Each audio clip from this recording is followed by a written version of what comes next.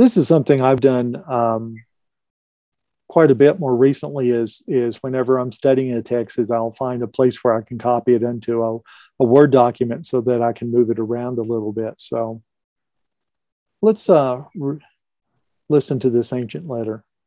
Paul, a prisoner of Christ Jesus, and Timothy, our brother, to Philemon, our dear friend and fellow worker, also to Apphia, our sister, and Archippus, our fellow soldier, and to the church that meets in your home.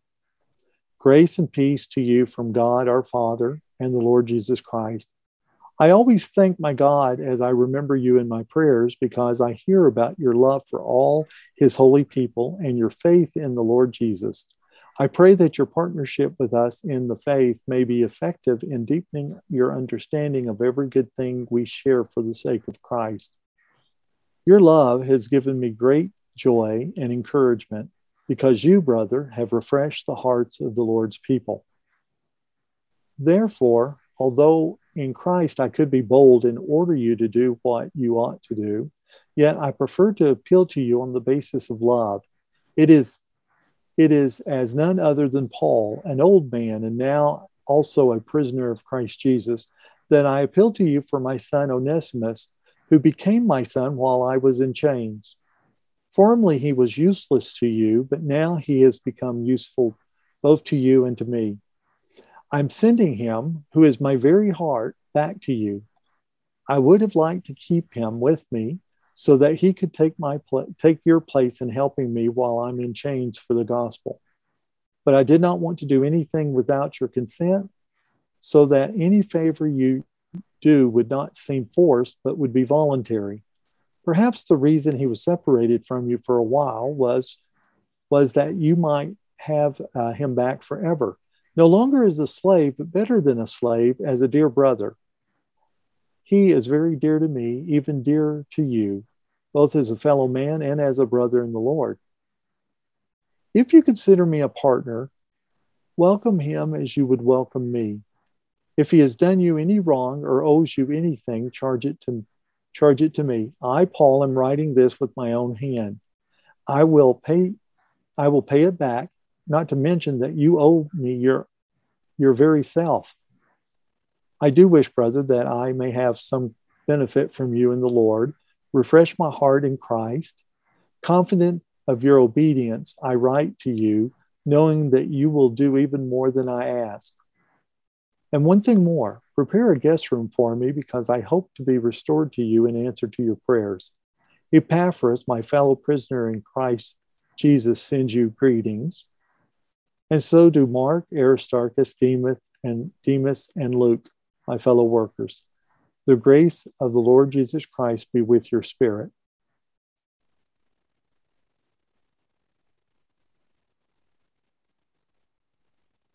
There's just a few of us on today, so feel free to unmute, but um, tell me what you think about this letter. You've read it before, but now we got to read it again.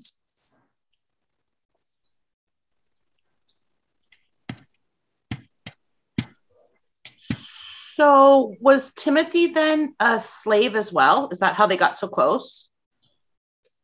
I don't know. He doesn't mention that Timothy's in jail with him, and so Timothy, Timothy may in fact uh, be potentially part of the messenger system to get this letter between the two. I don't know. Okay. Yeah, he doesn't mention that Timothy's in jail.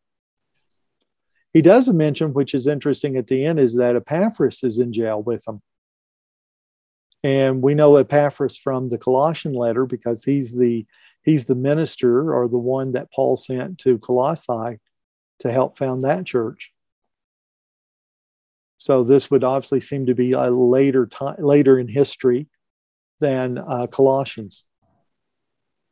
Because in Colossians it appears that Epaphras is still active in ministry.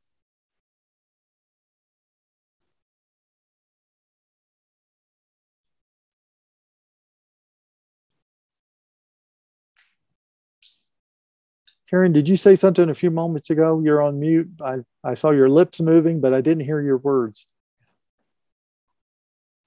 But, Are you talking about me, Karen Brown? Yeah, the, yeah, you're the only Karen today. Um, I was just wondering about the word church. Um, somebody told me that means a gathering. So when they were um, saying that you meet the church meets in your home? Are they saying the gathering of a gathering of people in the home? Yeah, the word church is really tricky today because of the modern connotations that we've put into it. But in the first century, it generally means a, a group of people that have that are together largely for a like-minded reason. And so uh, the word that's being used there, which is unfortunate for us, is not even a churchy word. It's the normal word you would use for a gathering of people. Okay, thank you. Yeah, Thanks. yeah. It is ecclesia, and church is probably not a bad translation, except it really creates kind of an image for us of a building structures and all of those things. And so, so basically, the greeting here is to the folks who believe in Jesus that are gathering regularly in this place. Is that helpful, Karen? Yes, thank you. Also, soldier. Soldier. Yeah. Does that? Yeah, that uh, kind of interesting. Soldier. yeah, the early Christians, while largely um, pacifistic in the sense that they, they wouldn't harm anybody if they could, um, often use military language as a descriptor for being in mission, which I think is interesting that a group de- dedicated to peace uses military images for how they move through time. Yeah. Thank you. Thanks. You're quite welcome.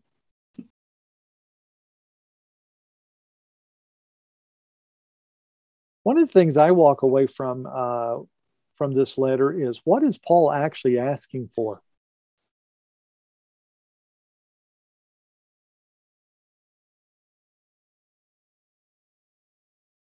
It's a letter of petition. Yeah, Cindy, just jump in there. Yeah, I see that um, he's had a slave that has run away from his home, uh, Philemon. Uh-huh. Yeah. And uh, so he's now become a brother. Somehow he's crossed paths with Paul. Yeah. And so Paul wants to send him back and ask that Philemon would receive him on yep. level playing grounds, no longer as his slave, but as a brother. Uh-huh. And of course, Philemon has the rights to punish this man for, uh-huh. you know, uh-huh. Philemon running away, but Paul's asking for a favor that he might not do that. Mm-hmm. Yeah, I think that uh, do you think he's actually uh, asking for um, Onesimus to be set free?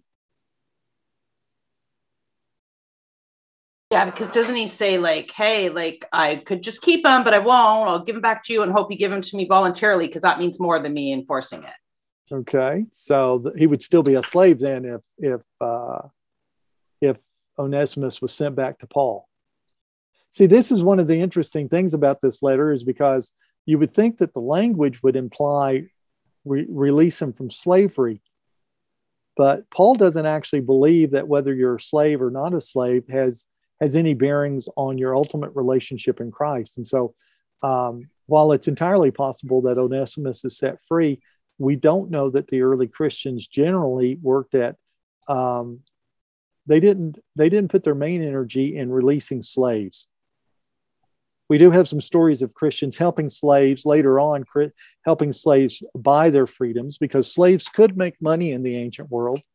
The other thing I think which is uh, challenging for reading Philemon is that we've been um, um, largely coached in or trained in thinking of slavery in the kind of the modern North American terms and slavery in the ancient world, uh, while still slavery. You should never ever say that slavery is not slavery but it's different because in the ancient world, uh, slaves were often um, the spoils of war.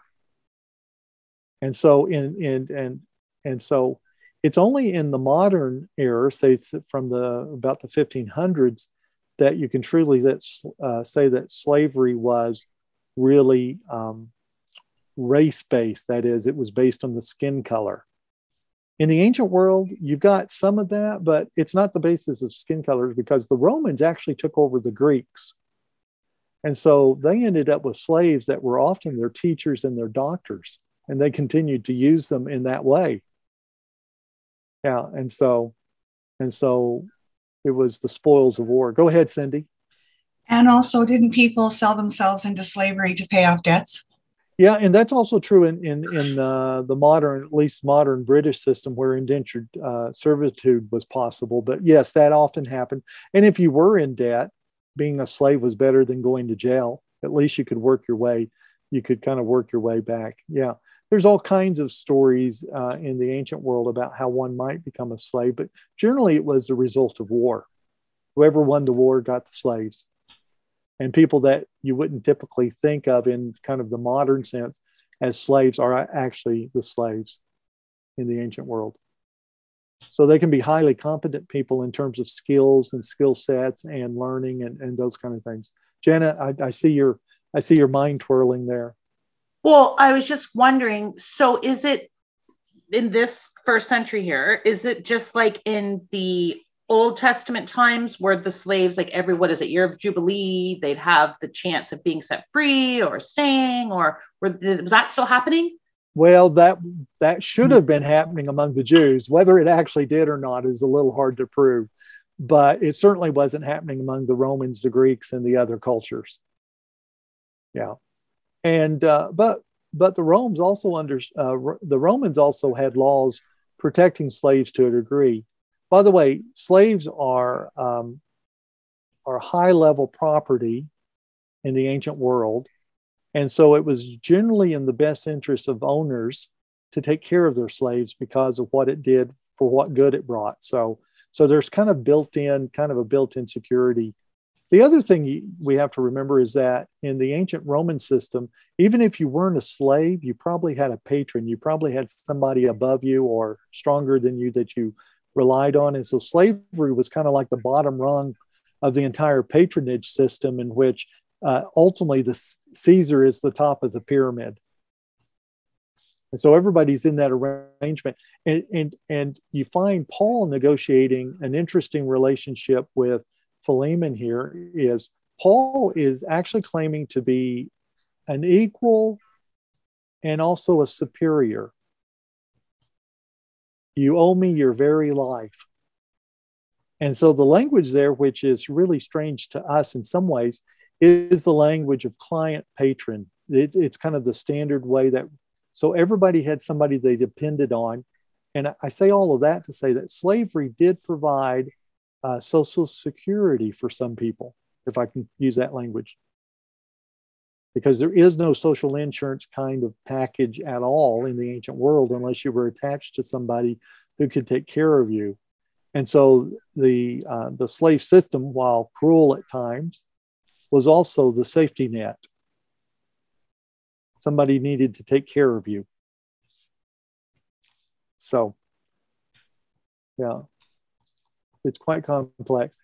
But the truth is, is that if um, if Philemon wants to kill Onesimus, he could do it, and there would be no repercussions. It was still it, the slave was still property, but some of the same relationships attached to the children, their own children, and the wife, while not a slave, also found herself in that kind of odd pyramid, not at the top usually. Yeah. So there's a lot that you can learn about ancient slavery. I think that helps make this uh, understandable. By the way, I did send out a um, another letter that was by uh, Plinius Secundus, Pliny, mm. and it gives you a. a I'm not going to go into it today, but but it gives you a first century parallel to Philemon to, to let you know that that the letter we have in front of us that's part of our Bible actually is a part of fabric of the ancient culture. I mean, it's it's very consistent with something you would read in the ancient world. It wasn't an unprecedented problem. Yeah, but Roman law certainly certainly uh, favored the owner, the patron, not the client. I want to do a little bit of just uh, how do you read? And again, um, I use this. This is the letter that I use to help people uh, get a sense of how to read all New Testament letters. And so, in reading this, one of the first things that I do is I try to isolate the body. And so, it's again, it's fairly simple to do with this letter, but it's a good skill because you're going to need to do it with other letters. All ancient letters and again, let me highlight it. You should be able to see it. All ancient letters had this at the beginning of the letter, basically the writer to the recipient. And so the writer here, notice Paul has a co writer, but the writer is Paul, essentially. By the way, when we get into the letter, it's first person, right? So it's it's in Paul's voice. And then the recipient is um, Philemon, but there's also other recipients listed, but we become very clear that it's a single person uh, when we start reading the letter. It is not not all of these people are the direct are directly being addressed. And so we have Philemon, and then we have descriptors. We'll, we'll break those down here in a bit. Scholars have really struggled with Apphia and Archippus and exactly who they are. Is, is Apphia Philemon's wife? Is she Archippus's wife?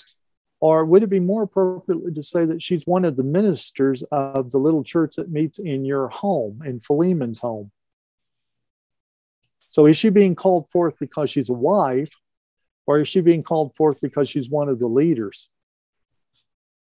And I'm leaning more and more towards that second option the more I get to know first century, uh, particularly the first century church.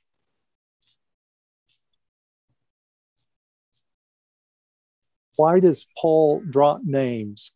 I think largely the names help him make his case with Philemon. Would that make sense? So that he mentions Timothy because Timothy means something to Philemon.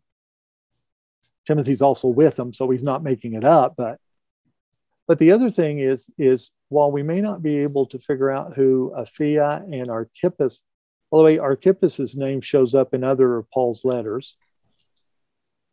So um, he mentions these other names, Apphia and Archippus, because they put some kind of pressure on Philemon to fulfill what Paul's asking. It's as, as if Paul's having a private conversation with Philemon and he, he sees he sees Apphia and Archippus on the dance floor and he says, Hey, you guys come over here. We've got a conversation going. So you might want to be part of this conversation. But the greeting is also made to the whole church, that is, and to the church that meets in your home and to the gathered community. The next thing that occurs in a letter is some kind of greeting, and, and we have it. By the way, grace and peace would have been typical greetings in the first century. As you've heard me say, what makes it Christian is this part here, right? There's nothing uniquely Christian about this. Any ancient person could say that to each other. What makes it Christian is Paul's additive phrases. So, so this letter is very much following what we would expect to find in an ancient letter. We would expect, you know, the author to the recipient. We'd expect a line of greeting. And then what happens next in the letter is usually a prayer wish or a thanksgiving. And certainly these verses here satisfy that.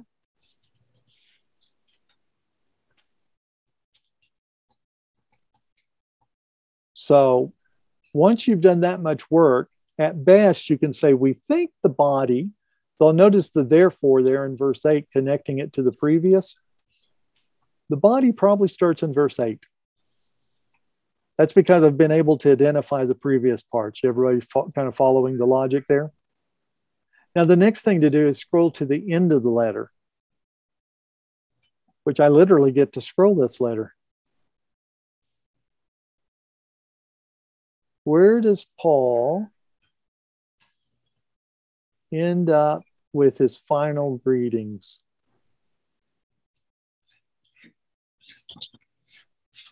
I'm going to say at the very best, it may be earlier, it may include this verse 22 and one thing more prepare a guest room for me. That still sounds like body stuff. But certainly by the time we hit verse 23, we've hit final stuff, the final greetings. Epaphras, my fellow prisoner in Christ Jesus, sends you greetings. So obviously, Epaphras is sitting there with them. And so do Mark, Aristarchus, Demas, and Luke. Um, there's a lot of stuff we could say beyond the letter. Mark is, of course, John Mark. Aristarchus is one of the Greeks. Demas is somebody that's going to leave Paul later. We know that from uh, First, Second Timothy, and then Luke is with him at the end. So I think this letter probably would date to about 62. It's probably his Roman imprisonment. So, and the grace of our Lord Jesus be with your spirit. Does anybody have a footnote on that? Your because if I remember right, it is a plural, as if he's closing it out to everybody that's included in the letter. Give me just a second, and I'll look.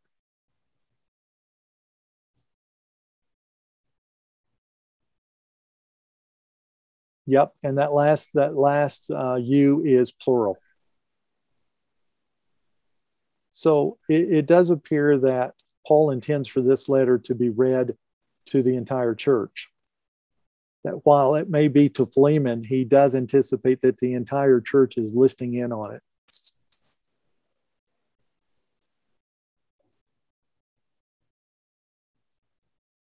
Which would give us, now that we've kind of isolated the end matter, would give us basically from verse 8 to verse 22 being the body. We may we may decide what to uh, to change that here in a minute, but it gives us something. The reason we want to isolate the body is, is basically uh, twofold. We want to get the main point, but if the letter is a petition, what the writer is asking for will show up in the body, but the other parts of the letter will be, then begin to support what he's asking for.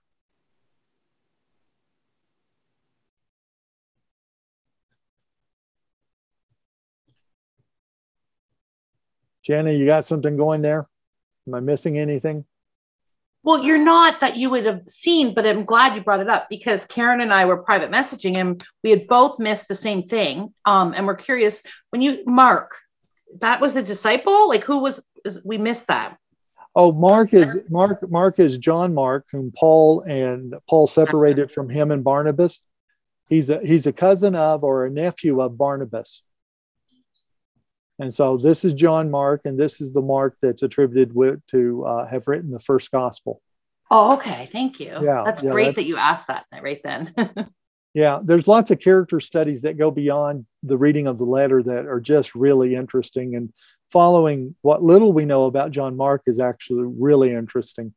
So let me back up to something else that I want to show you. When the writer says that I urge you or I appeal to you, these words are quite important to getting to the, um, the heart of what the writer is asking for. Most New Testament letters are what we call petitions. They're actually asking the readers to do something, to be something, to think something. And when you find that statement, it makes sense of everything else in it. And again, I think Philemon is somewhat simple for us here, except for this. Paul starts his appeal statement in verse 8, but he actually doesn't get to it until verse 17.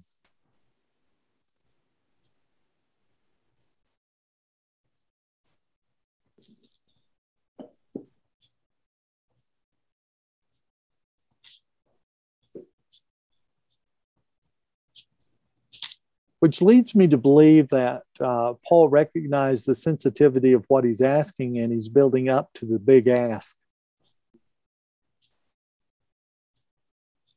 Paul could have written this as I appeal to you to welcome him as you would welcome me. And if I'm right that this is the petition, then this becomes the this becomes the controlling statement on everything else that's in the letter. It's what the letter's designed to get done. We may, because we don't know what happened next, we may struggle with exactly what that is, but we do know what Paul is asking. Paul is at least, at least asking that Onesimus be welcomed as, as uh, Philemon would welcome Paul.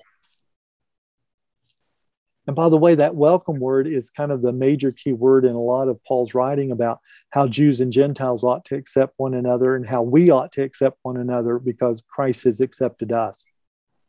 And so, in some sense, this letter continues the big theme that, that you've probably heard me highlight is that the New Testament is largely about the grand hospitality of God,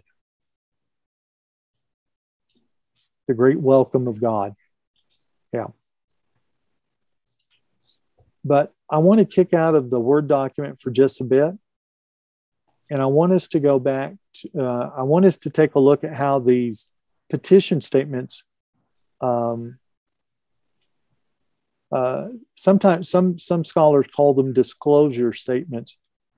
It's where Paul says something like, "I want you to know," or "I urge you to," where he kind of highlights. I want to show you how it functions in a couple of, of letters. So let me let me leave this. I'm, so I'm going to stop share, and then I'm going to go into another program, so I can just get us some biblical text in front of us. We won't need the Greek here. And I want to show you a couple of samples of how helpful it is to isolate this statement. And what we're looking at here is First Corinthians, and we have the typical stuff we're looking for, right? We have the author to the recipient, and then we have the greeting, and then we have the thanksgiving or prayer wish, which is what we typically expect. And then somewhere Paul's going to start the body, and Paul starts First Corinthians with he starts First Corinthians with a disclosure statement or a petition. Maybe petition might be the best way. I appeal to you, brothers and sisters, in the name of our Lord Jesus Christ, that all of you agree with one another in what you say, and that there be no divisions among you, but that you be perfectly united in mind and thought. What's important about this statement is that it becomes, again, like I said, it becomes the controlling statement for the entire document. The rest of First Corinthians can virtually be outlined around things that divide people. Now, if you've done First Corinthians, you've seen this before. But what we've often not seen is that Paul's very clear about what he's trying to do here. And you can actually begin the to read the letter. What is Paul trying to do? He's trying to help this church have no division among them and to be united in mind and thought. And you can basically outline the rest of the material along that line. In fact, you can actually read the previous material as supporting that point.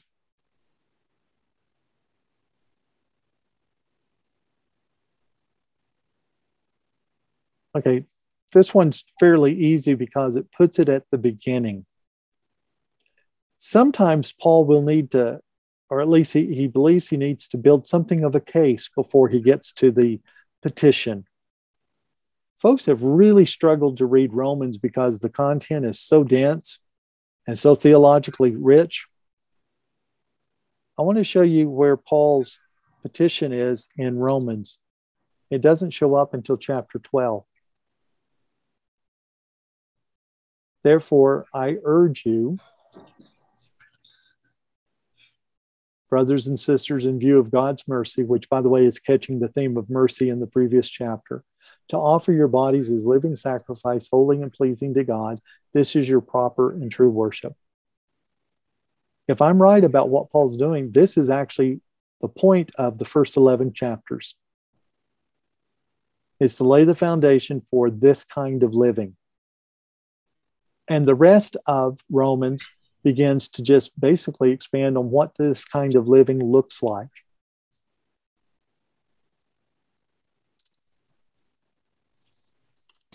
So, folks who are reading Romans as if it's Paul's kind of grand theological treatise is probably misreading Romans.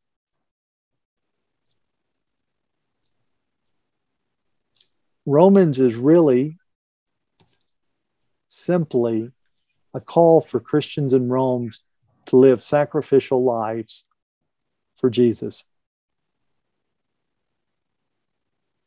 And so it gives you a prism with which to read the letter through. And if you keep coming back to this, some of the materials that didn't make sense begins to make sense. The reason that one of the ways to know that you've really kind of landed on, on the, the thesis material, as we would call it in modern writing, is that it tends to make sense of the rest. It also puts it also puts interpretive controls around the text, so the text can't mean anything. The text is serving the purpose of whatever the primary statement is. And so it, it still allows us to disagree on lots of content stuff like that could mean this, could mean that. But what it doesn't allow us to do is on the main point, like what is what is the purpose of Romans? Well, the purpose of Romans is to help believers live offering your bodies as living sacrifices kind of lives. Okay, let me show you one more. Some letters are also very hard because they don't always have, not all of Paul's letters, not all of the New Testament letters have clear statements like this. But when they do it, it does help you read the letter uh, much more sharply. One of my favorites is the one that shows up in First Peter 2.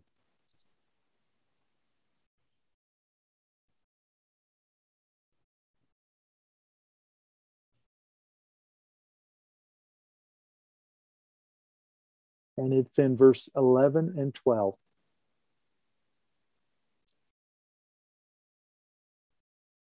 So notice you get kind of the discourse marker, dear friends, like, hey, listen up. I'm about to change directions. I urge you as foreigners and exiles to abstain from sinful desires which wage against your soul. Live such good lives among the unbelievers, pagans, Gentiles, that though they accuse you of doing wrong, that uh, th- that they may see your good deeds and glorify God on the day He visits us. So, what is Paul or what is Peter asking his readers to do? Live good lives in the presence of those who don't live good lives.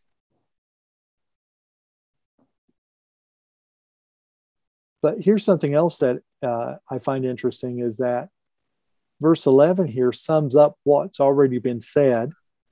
And you might remember that what, what's been said earlier is be holy as I am holy. So it's a call to holiness.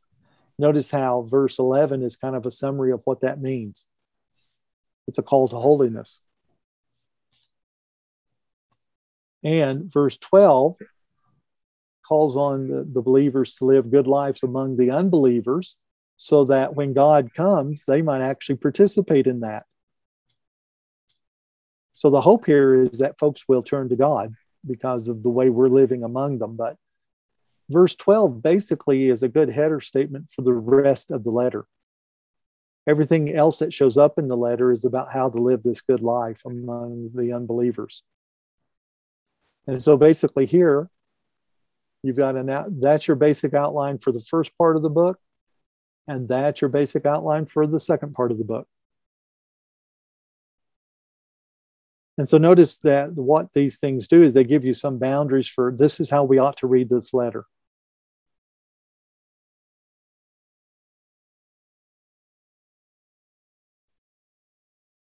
Okay, I'll, I'll leave any others that show up in the New Testament to you, but I've given you enough illustration that when when when the writer says, "I urge you to do something," now it doesn't necessarily have to be the main theme. So be careful with this because the writer can make a subpoint i urge you to live good lives. Later that's not the main point of the letter so so. But when these things show up well like ephesians 4 1 they really do they really do help you read the letter in a much um, a much more focused way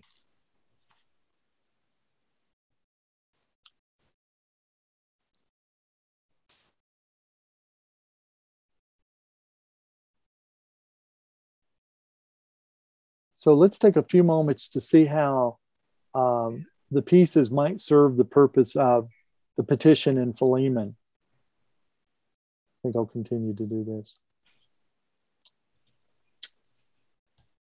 So let me go back to, hang on, let me, let me switch screens again and go back to that Word doc so that we've uh,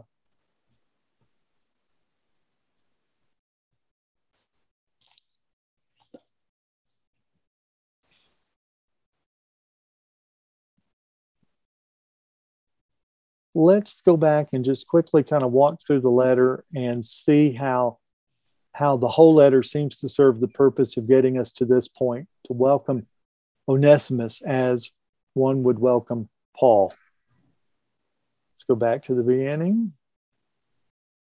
So I'm going to pick up in verse four. Let's pick up with the Thanksgiving. I always thank my thank my God as I remember you because I hear of your love for all of God's holy people. Notice how he's laying the foundation here. You love all of God's people. Guess who that includes?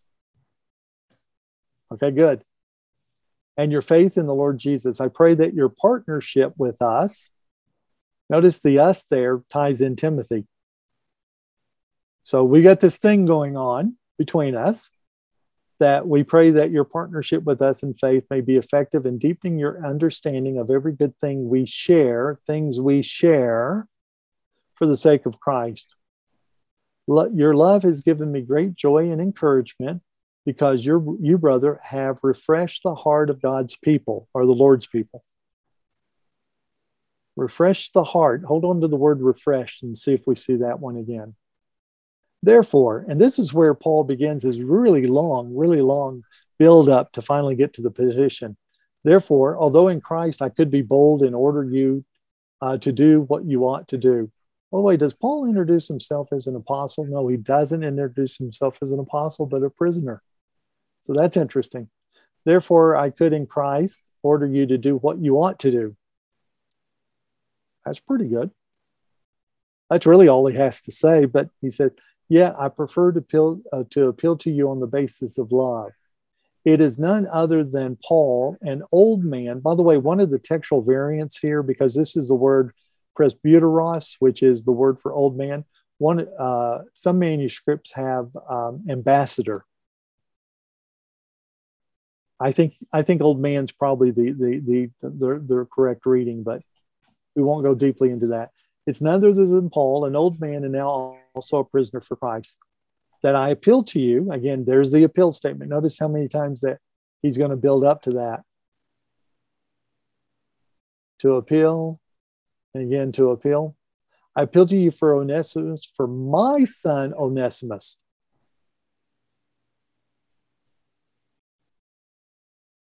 Who became my son while I was in chains, became a believer. That's how we typically believe that. And I think it's the right way to really. Formerly, he was useless, and you'll have to have a commentary to hear this, but the word useless is um, is a play on Onesimus's name. Onesimus means useful. And so he was useless to you, probably referring to the fact that he ran he ran away. But now he's become useful to both to both you and me. Notice how Paul just keeps weaving that. Okay. I am sending him who is my very heart. Let me scroll back one more time. Don't want to give you uh, vertigo here, folks, but and he has refreshed the hearts of the Lord's people many times. So Onesimus is my very heart. Back to you. I would have liked to keep him with me so that he could take your place in helping me while in uh, while in chains, right? But I did not want to do anything without your consent, so that any favor you do would not seem forced, but would be voluntary. I don't know about you. If I received this letter, I'd feel like I had had my arm twisted behind my back. Perhaps, Paul theorizes, the reason he was separated from you for a little while was that you might have him back forever. The perhaps here includes maybe God did this, right? Perhaps. Yeah. No longer as a slave, but better than a slave. Dear as a dear brother. I've, I've also wondered whether or not Onesimus is getting a little bit of a chiding for not having brought his slave into um, uh, belief in the gospel, obedience to the gospel. But he is very dear to me, but even dearer to you, both as a fellow man, that's kind of interesting, as a fellow human, and as a brother in the Lord. So if you consider me a partner, welcome him as you would welcome me. If he's done you any wrong or owe you anything, charge it to me. This kind of picks up on the background of Roman law that that if somebody keeps a runaway slave, they do in fact owe the owner the lost labor. So there were laws governing that kind of things in the ancient world. I don't know if Paul's using a scribe for the letter, and it's at this point or this paragraph that he actually picks up the pen, which he often does because he doesn't seem to have been a professional scribe, because in his other letters, he's actually using a scribe. I, Paul, am writing this with my own hand. But he's basically Paul's take writing the letter and saying, This is my IOU for to for this debt. So Paul's assuming the debt. I, Paul, am writing this with my own hand. I will pay it back, not to mention that you owe me your very self. I don't know if Paul physically saved his life or if he's talking about having shared the gospel with them, which is the way most commentators go. I do wish, brother, that I may have some benefit from you in the Lord. Refresh my heart in Christ. Did you follow the play on the word refresh now? Onesimus has refreshed the Lord's people, the heart of the Lord's people. Onesimus is Paul's very heart. Refresh my heart in Christ. Yeah. Jenny, you need to go back and see all of those places, or you got it? You got it. Okay, good.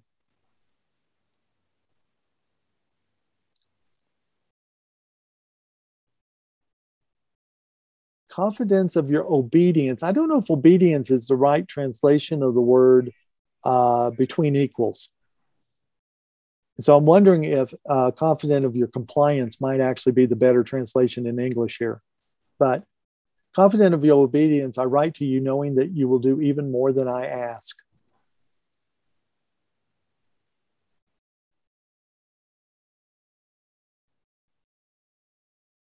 Do you see how everything in the letter now is serving the purpose of that statement right there? And you end up with a much sharper reading of the letter and a much clearer understanding. Even if you don't know what the implications are, you do understand uh, what's being asked in this particular letter. Let me, uh,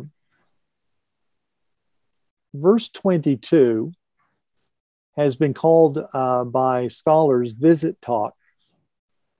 And it's more than just asking a favor of a guest room.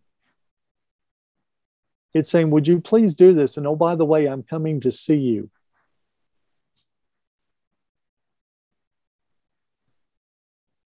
Yeah. And one more thing prepare a guest room for me because I hope to be restored to you Notice how restored is a synonym to the word refresh.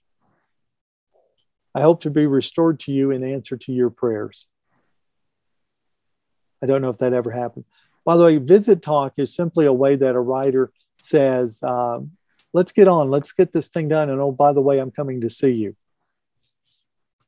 Yeah, so get it done before I get there. It's kind of what and, and you'll see Paul do this with the Corinthians. He says, Do you want me to come uh, si- uh, quietly or do you want me to carry a big stick? You know, it's visit talk. Yeah. It's like telling your kids to clean their room and saying, Oh, by the way, I'm going to be up there in a few minutes. So, and there we have Philemon as I think one of one of the reasons I like to start with Philemon is because most of us don't have a lot of theological uh, concerns growing out of Philemon. We don't have a lot of our theological stakes built in Philemon, although it's quite theological. In fact, I think it's core theologically towards the welcome of God. But because we don't have a lot of doctrines hanging on it, it gives us a chance to step back and say, how would you read a New Testament letter? And here's my suggestion we ought to read every New Testament letter this way first. Otherwise, we make immediate applications that have no bearing whatsoever and will not be helpful to our modern situation. What we well, if we think of the New Testament as as a church manual, then everything we find there should find some some application. What if the application is not about how we do things, but how we think about things? For example, Philemon gives us a way of thinking about other people that we often have to be reminded of. This is how we this is how we care for other people. Well, but they're not as important. Doesn't matter. This is how Christians take care of people. And so I find a lot of really good theology here, but there's not a lot of doctrinal church manual kind of stuff like, oh, by the way, make sure you do baptisms this way. So, what would happen is that you would read all of Paul's letters or all of the New Testament letters in this fashion that is, you'd simply try to understand what it was trying to get done in the future. For example, we, we have a direct command here that everybody would agree cannot possibly apply to us, nor was it intended to apply to us. But it's in the New Testament and it is a command.